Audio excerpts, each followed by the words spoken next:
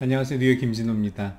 오늘은 그 케이스 리뷰 하는 시간인데요. 어, 저희가 탈모 치료하는 특히 최근에 저희가 하고 있는 엑소톡스, 엑소좀 그리고 보톡스 성장인자를 조합해서 쓰는 저희 치료법이 있잖아요. 그래서 그 치료 사- 그 하신 사례분 사례 아, 환자분 사례를 좀 보여드릴게요 어, 여성분이시고요. 여성 탈모에서는 남성 탈모에서 가장 큰 무기를 쓰는 피나스테리드나 두타스테리드를 쓸 수가 없기 때문에 미녹시딜 외에는 사실 단독 치료를 쓸 수 있는 게 별로 없고요. 보조적으로 맥주 효모 정도로가 쓸 수 있죠. 근데 미녹시딜이나 맥주 효모로 큰 효과를 기대기는 사실은 좀 어려워요. 그래서 그거는 기본적으로 쓰긴 하지만 항상 좀 섭섭하죠. 그래서 여성 탈모에서 우리가 이런 탈모 치료의 필요성이 좀 더 남성보다는 많은 것 같습니다. 저희가 8개월 정도 어, 저희한테 치료를 받으신 분이고요.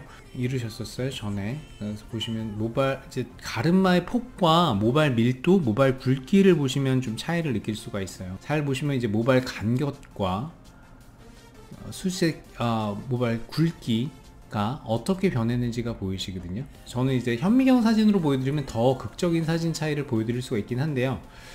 그거보다는 저는 이제 현- 이런 사진으로 보여드리는 게 훨씬 더 그리고 환자분들도 직접 느끼기에 현미경으로 좋아지는 거는 잘 못 느끼세요. 그래서 이런 사진으로 좋아지는 거를 보여드리는 게 훨씬 더 좋다고 생각합니다. 그래서 이 가르마의 느낌이나 정수리 쪽 그리고 체감되는 어, 고객분의 느낌 이런 것이 되게 중요한데 이분들 음, 제가 이거 말씀드리기는 어렵지만 하여튼 이런 차이를 한번 보시고 이제 의료법 때문에 제가 이거를 환자가 어떻게 느꼈는지 또는 제가 어떻게 생각하는지 이제 주관적인 감상을 드리긴 좀 어려워요. 네, 어렵습니다. 이게 객관적인 사실만 전달해야 되기 때문에 사진을 잘 보십시오. 이건 최대한 같은 조명에서 같은 각도로 찍어서 저희가 차이를 최대한 없애서 찍은 사진이거든요. 그래서 한번 보시면 전후 차이가 어떻게 느껴지는지 알 수 있을 것 같아요.